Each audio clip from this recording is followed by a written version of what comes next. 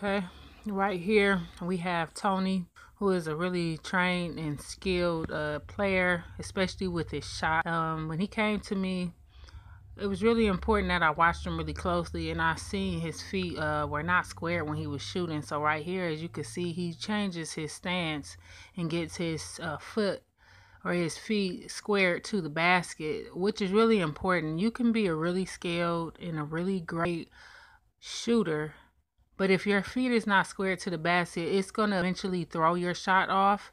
And right here, he's knocking down shots consistently because once you change something really simple like the squaring of the feet, then you can see the shooting percentage goes up really quickly and drastically. So right here, I'm reminding him again, look, look at your feet, square your feet up. And I was amazed that when he shot the ball and he had his feet squared, that a lot of his shots and that's because, like I said, he's pretty skilled. He's been through a lot of training, so he has the correct form. He keeps his L in, he has rotation on the ball, he's holding his follow through.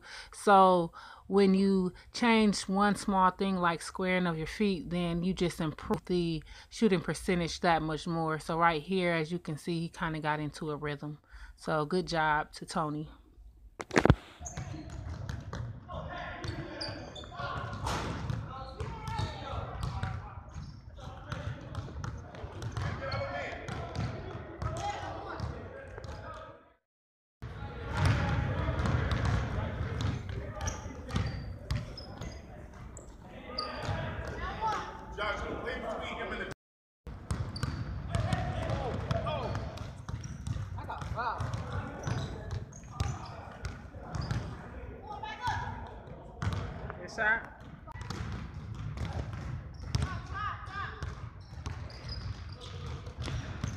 Come on, Holston D.